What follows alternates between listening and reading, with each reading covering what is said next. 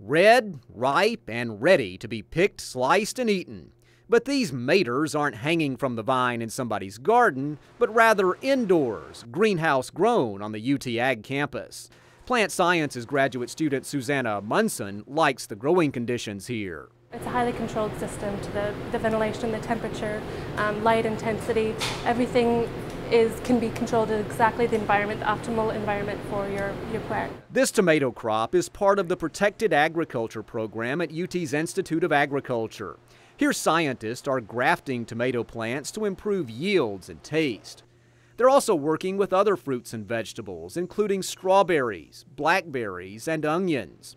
Researchers say when we protected culture, the growing conditions in other words, it gives farmers the advantage of producing a higher quality crop for consumers. There's really two ways that people can make money and protected culture. One is high volume and the other one is high value.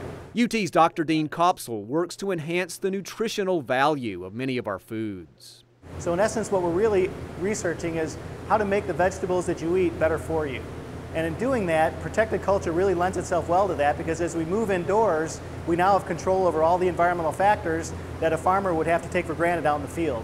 As our population grows, we lose land for production agriculture. It stands to reason then that greenhouse farming will be even more critical for our future food supply, and we're already seeing a worldwide increase in greenhouse crops.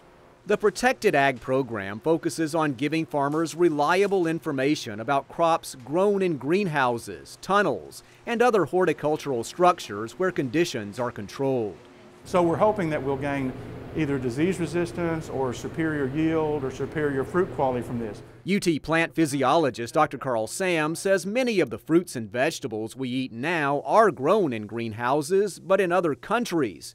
He wants some of that production to come to Tennessee. These are high value crops that if we can develop the production systems and the technology and show the growers how to do it, there's an opportunity for them to capture some of that market. The idea of protected agriculture has been around a while, but look for a greater emphasis on it in the future. After all, you can put a greenhouse just about anywhere. This is Chuck Denny reporting.